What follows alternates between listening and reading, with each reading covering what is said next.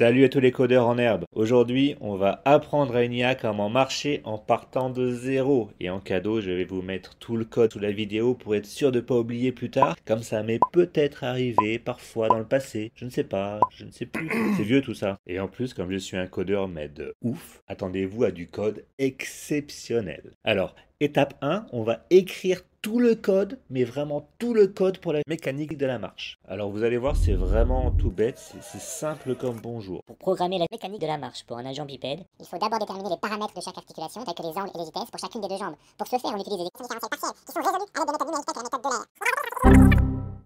Euh, mais attendez une seconde. OpenAI avait pas déjà sorti un truc tout prêt pour apprendre à une IA à marcher à tout hasard? Je dis ça, je dis rien. Hein. Juste au cas où, quoi. Ok, alors, étape 1, comprendre Gym OpenAI. C'est une sorte de salle de sport pour les robots. On y trouve des tas d'environnements de simulation qui permettent aux développeurs de tester leurs algos. En gros, c'est comme un terrain de jeu pour les geeks, mais au lieu de s'amuser, ils testent, ils comparent leurs algorithmes pour voir lesquels euh, sont les plus performants. Et ça tombe bien, ils ont justement créé exactement l'environnement qu'on veut pour apprendre à marcher. Le Bipedal Walker.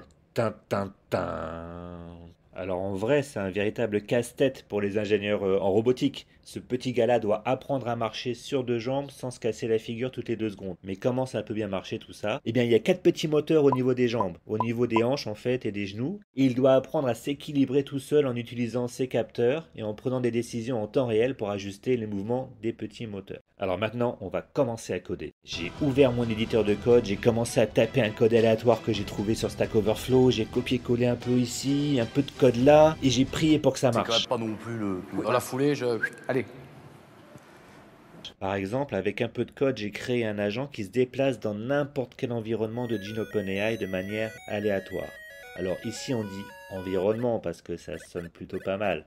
Mais en fait, un environnement, ça veut juste dire un jeu. Et donc juste après, j'ai écrit un peu de code pour permettre à un humain, comme moi par exemple, de se déplacer dans l'environnement. Ce code marche pour tous les environnements de Gene OpenAI c'est-à-dire pour tous les jeux qu'ils ont mis à disposition, Pac-Man, des jeux de course, euh, Zelda je crois, enfin des trucs comme ça. Étape 3, jouer pendant des heures et des heures à des jeux des années 90 en utilisant juste les touches de mon clavier. Ok, ok, je sais bien que je pourrais être en train de créer un programme d'IA révolutionnaire, ou même apprendre une nouvelle langue étrangère, ou même juste regarder Netflix. Mais non, je préfère me laisser happer par la nostalgie et la facilité de ces vieux jeux. Qui a besoin de toutes ces technologies modernes et de tous les écrans tactiles sophistiqués quand on peut juste appuyer sur quelques touches pour contrôler un personnage pixelisé? C'est tellement beau, c'est tellement simple non?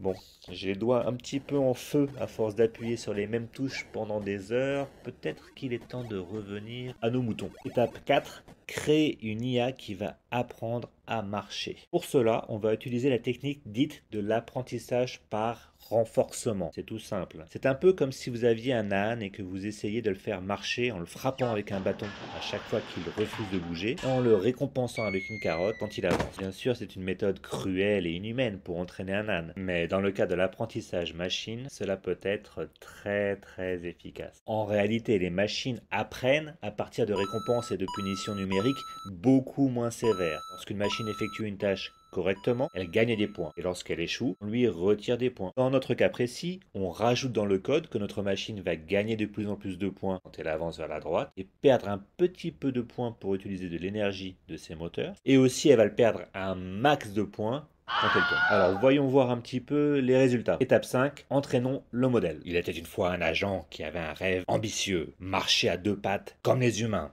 Il avait lu tous les manuels de physique et de biologie, il avait visionné toutes les vidéos de robots bipèdes sur YouTube. Il était sûr qu'il pouvait le faire. Et quand il a essayé de marcher, il s'est rapidement rendu compte que ce n'était pas aussi facile que ça en avait l'air. Il a commencé par tomber en avant, encore et encore. Ses mouvements étaient raides et maladroits, comme s'il était un bébé girafe. Il a essayé de se corriger en balançant son ventre, mais cela n'a fait qu'ajouter à son apparence comique. Il a aussi essayé de se concentrer sur sa posture et de garder son centre de gravité en équilibre, mais cela n'a pas aidé non plus. En fin de compte, l'agent a fini par abandonner son rêve de marcher à deux pattes. Il a réalisé qu'il était simplement conçu pour faire d'autres choses, comme résoudre des problèmes mathématiques complexes ou faire des analyses de données en un rien de temps. Et puis un beau jour, après des heures d'entraînement, de débugage et de bidouillage, l'agent finit par enfin réaliser son rêve. L'IA avait l'air gracieuse et élégante, comme une somptueuse gazelle dans la jungle dorée. Et voilà, c'est ainsi que j'ai appris à une IA comment marcher. Alors si je peux le faire, vous pouvez le faire aussi. Et un petit conseil au passage, toi aussi tu peux copier-coller mon code. Alors je suis de retour après 3 ans d'absence, hein. je sais que c'est long, vous vous demandez sûrement où est-ce que j'étais pendant tout ce temps. Bien la vérité, c'est que j'ai été kidnappé par des aliens qui m'ont emmené dans leur vaisseau spatial pour étudier mes compétences de création de vidéos YouTube. Après avoir fait une démonstration de mes talents pour eux, j'ai finalement réussi à m'échapper et je suis revenu sur Terre pour continuer à créer des vidéos. Voilà, donc un grand merci à tous les commentaires sympas sous les vidéos euh, ces derniers mois. J'ai eu plein d'idées pour euh, les vidéos futures. Je vais essayer de faire une vidéo par semaine sur l'IA maintenant. Alors euh, abonnez-vous vite. Allez, ciao